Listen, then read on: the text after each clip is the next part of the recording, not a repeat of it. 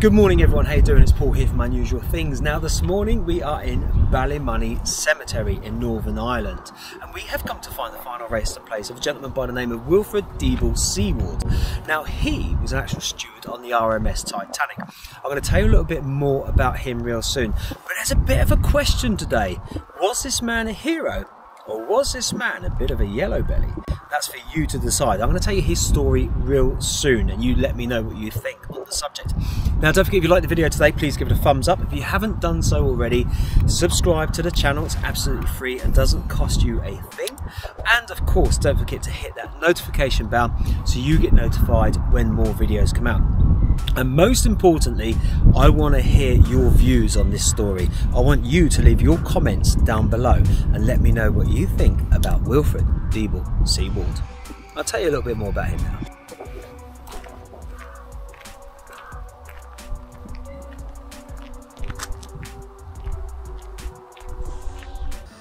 Mr. Wilfred Deable Seward was born in Shoreditch, London, England on the 5th of March 1887.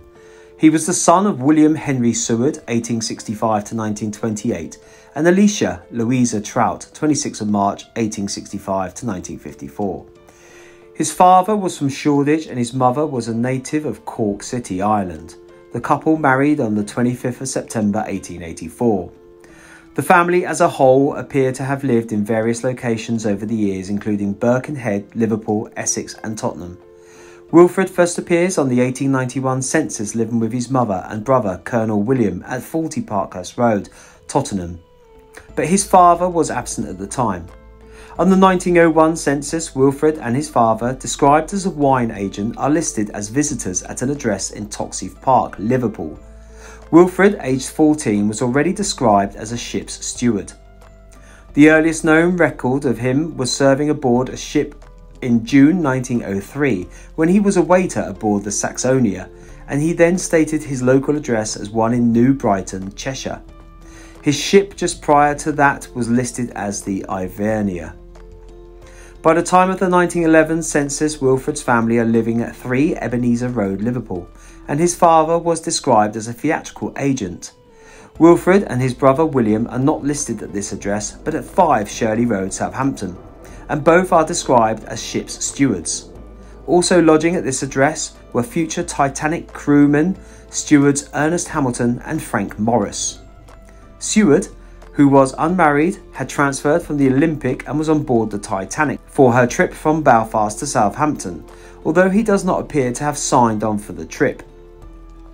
When he did eventually sign on to the Titanic on the 4th of April 1912, he gave his local address as 5 Shirley Road, Southampton. As chief pantry steward, he could expect monthly wages of £4 and 10 shillings. Called to testify at the British inquiry into the sinking on day 15, of which he received expenses of £10 8 shillings, Seward's account was tame he stated at the time of the crash he was in his bunk and got up but got back into his bunk again and went to sleep. He rose again after a time when the second steward came by ordering all men upon deck. Before complying, Seward went to the pantry to check on lifeboat list before assisting passengers into their lifeboats. He first went to boat 5 and then to his assigned boat, lifeboat 3 which he entered and estimated to be filled with between 50 and 60 people, including around 14 other crew members, which were made up of seamen 4 and firemen 10. He also related the reluctance of some of the passengers to leave. In another and much more dramatic account, he stated that his lifeboat capsized and he spent hours in the water. Upon returning to Britain and providing evidence of the British inquiry, Seward returned to sea. Two years later, on the 29th of August 1914, Wilfred enlisted in the 10th Scottish Battalion, the King's Liverpool Regiment.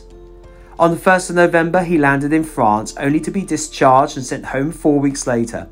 His invalidity certificate records that he was suffering from rheumatism and reports that this man was on board the Titanic when she went down. He was in the water for two and a half hours. Causation of disability, immersion at sinking of the Titanic. His return home was reported in the press. Three gallant lads, news has been received that Private Fred Seward of the Liverpool Regiment, whose father lives in White Rock Street, Liverpool, was wounded in the recent Beak push. His eldest brother, Wilfred, who is in the Liverpool Scottish, a survivor of the Titanic, has been invalided home owing to his frostbite contracted in the trenches at Christmas 1914, where he went through the early fighting. Another brother, Arthur, 18 years of age, in September next, has been out on the front line for 10 months with the Argyll and Sutherland Highlanders and taken part in all of their successful charges. Liverpool Daily Post, 24th July 1916. Wilfred therefore returned to civilian sea duty, serving on various ships in the merchant fleet during both World Wars. On the 14th of August 1917, Wilfred was married in Hornsey Road Methodist Chapel, Islington, to Lilia Marion Box. He was described as a baker, works manager, and his address was stated as 112 New Warwick Road, New Southgate, London. His wife Lilia, a native of Bromley, was the daughter of Josiah James Box, a railway worker and the former Mary Butcher. Wilfred and Lilia had two children, Doris, born 1920, and Peter James, born 1926, and they lived in the Islington area of London for a number of years before living in the New Forest, Hampshire, and later Southampton. His daughter Doris related an amusing story about her father's extended absences from, the ho- from home whilst at sea. She and her fiance, Thomas Patterson of Doeg, County Antrim, had written to him asking for his permission to marry. The letter finally arrived with him 18 months after the wedding had taken place. Seward worked aboard the Majestic in the 1920s and the Olympic in the latter half of the decade.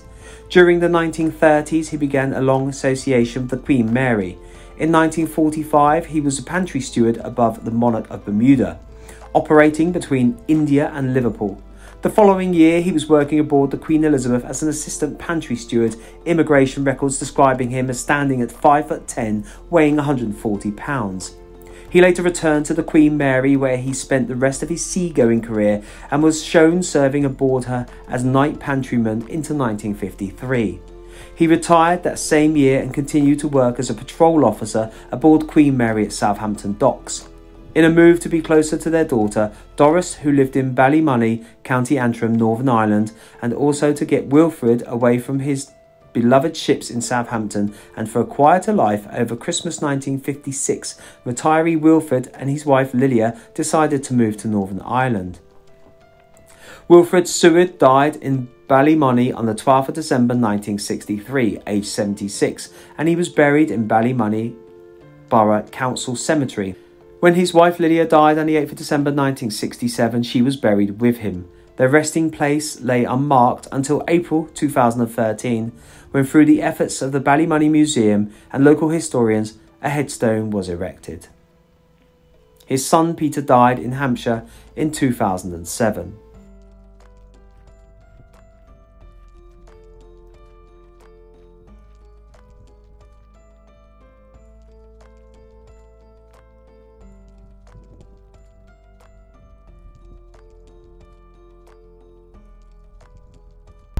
So there's all the information there on Wilfred Deable Seward.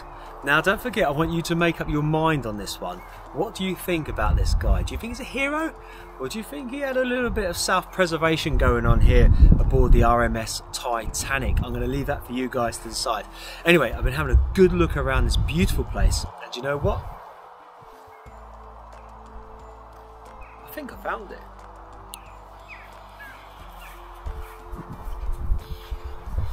So here we have the final resting place of Wilfred Deable Seward. And no matter what you think, this man was on RMS Titanic. A lot of people lost their lives that night, and a lot of people went through a lot of trauma after that event. This man went on to serve on board other ocean liners after that fateful night. So we've got to say thank you for doing your bit, Wilfred.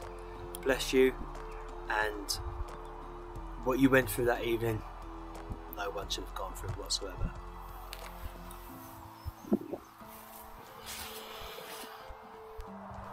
So there we have the final resting place on Wilfred Deable Seward. Like I said earlier, it's down to you to decide of what you thought of that man's actions on that evening. But what we can't take away was the traumatic event that he went through on that night on board the RMS Titanic and what he went on to do in terms of serving at sea after that night. Don't forget if you liked the video today, please give it a thumbs up. If you haven't done so already, subscribe to the channel and leave your comments down below. It's really important. I want to know your thoughts on Wilfred and uh, I will see you all on the next one. Take it easy.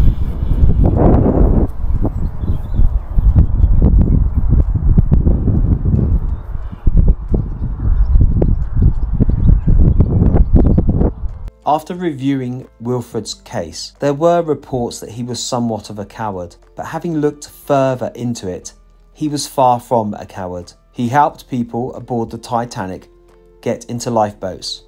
However, some claimed that he shouldn't been on board one himself and should have stayed on the actual ship. Then he went on to serve in the First World War and later onto other seagoing vessels during both wars. For that, we must salute him.